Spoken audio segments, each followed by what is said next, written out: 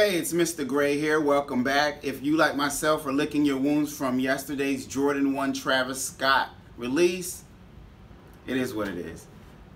I'm used to getting L's at this point, and if you've been in the game for a while, you probably received a lot of L's also. Either way, I am not licking my wounds from the Fear of God release that was on Saturday because I was able to actually get the Fear of God Raid Lightbone. But before I jump into that, let's talk about Jerry Lorenzo's previous drops or collaborations that he dropped with Nike. Um, if you don't know who Jerry Lorenzo is, you have been sleeping under a rock. If you are a sneakerhead, you should be embarrassed if you don't know he, who he is, but I'm sure you do. Either way, he dropped his first collaboration with Nike in December of last year. Um, he dropped two. At, he actually dropped two sneakers at the same, same time. The Fear of God one in black, and then the Fear of God 1 shoot around in black also. Then he followed up this year in January with two with the same exact versions but different colorways. So he dropped the Fear of God 1 in light bone and the Fear of God 1 shoot around in light bone. So what I actually have here for you today is the Fear of God Raid Light Bone which is really nice. And the material is definitely, um, I, am not going to say interesting. Um, it is suede. It's, and it's suede like most suedes, but I guess it looks, it actually, it's a really premium quality suede. I definitely say that. Um, it feels really good and soft to the touch. I know most suedes do, but I think some suedes are pretty rough, and this is actually better than most suede shoes that I've, I've, I've ever owned at the least. Um, so 80, about 80 to 85% of the shoe is suede. The Then you have these nylon straps that reach from the front, the middle portion of the sh shoe all the way to the heel.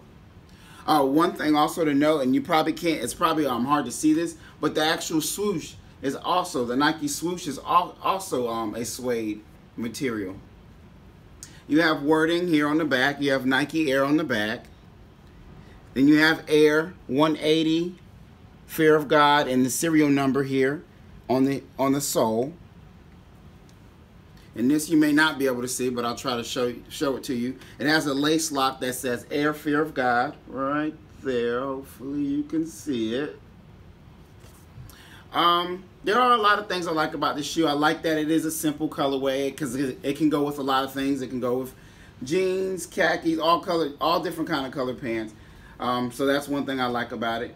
But one one of the I guess my favorite features is this air bubble because most or I guess all that I can think of at this moment air bubble or Nike air bubbles are typically encased within the sole. But you have this one which actually goes all the way through to the bottom of the sole and also neatly it tucked into the air bubble you have that Nike symbol which I think is awesome. If you look really closely you can even see the shape of the air bubble with encased within inside of this gel part of the sole here.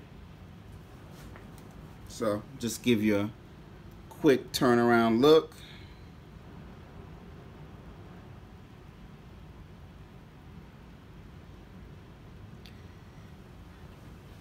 So the Air Fear of God Raid 1 Light Bone retails at 190 um, Aftermarket isn't too bad compared to 190 It's about, at least in my size, which is a 10 and a half, it's about 250-ish. Um, if you're team small feet, you're probably paying a, little, a lot more than that.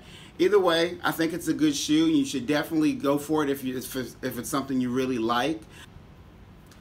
I love the collaboration between Jerry Lorenzo and Nike, and I can't wait to see several more releases. Um, I think he's a great, great, great creator. Um, I was scrolling through Instagram the other day, and one of the sites that I follow, it said, who is Nike's best collaborator? And it had a picture of Don C, Virgil Abloh, Jerry Lorenzo, and somebody else for some weird reason that I can't name right now. feel bad for not being able to. But either way, you know, I, I responded, and my response was, I think Virgil uh, Virgil Abloh is their best collaborator. But um, I gave, I guess I gave an extra answer that wasn't asked for. I said Jerry Lorenzo is the best innovator. And to me, I guess that means more to me than a collaborator. Reason being is because Jerry created something out of nothing. An argument that i am sure several, several of you have already heard. But it's a lot harder to make something out of nothing than to remix something or create something or edit something that already exists. It's just like if the tire was already invented and you came along and you added some adjustments. Yes, you probably made it better, but the person who will probably get the most love is the inventor of the tire. And as far as I'm concerned right now, Jerry Lorenzo is, in some fashion, oh, he is a, an inventor, and what he did is great. Not taking away from Virgil Abloh. I have some of his. I have. I've had a couple of his shoes. I have one now, and I love them. But I just think, as far as an innovator, that would go to Jerry Lorenzo, and a collaborator that would definitely go to Virgil Abloh. Either way, thanks for tuning in. If you even liked a small portion of this video, as small as this, please like and subscribe to me on YouTube, and you can follow me on Instagram at Mr. Gray 06. Thank you, and have a good day.